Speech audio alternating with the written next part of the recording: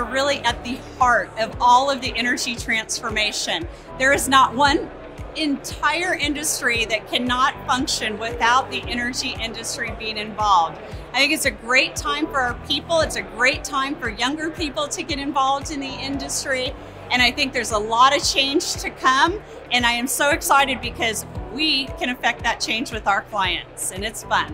When you talk about energy and the intersection with private equity, there's a concern that's been voiced in the marketplace that large strategic energy companies will unload their assets to private equity.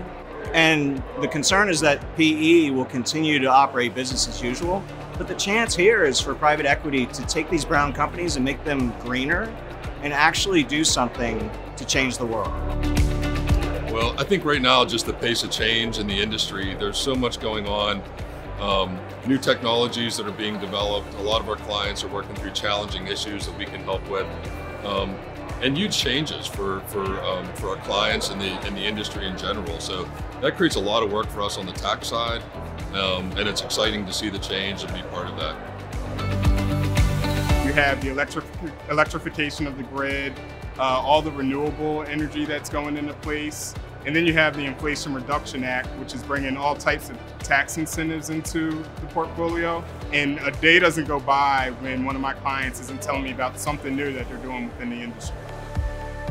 One of my references is uh, the energy industry right now is similar to how the internet was back in the early 90s, that we recognize that this is a, a huge, is going to have a huge impact on our lives, but not, we didn't really know what that was going to look like.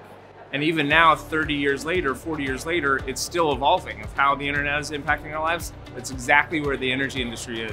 It's going to be evolving for the next 30 years and even 2050, which is a natural barrier that we're talking about, it's going to still be evolving. The energy industry is going through a transformation and being in the climate and decarbonization space, I believe energy sector is going to lead how the transformation will happen in all other sectors as well.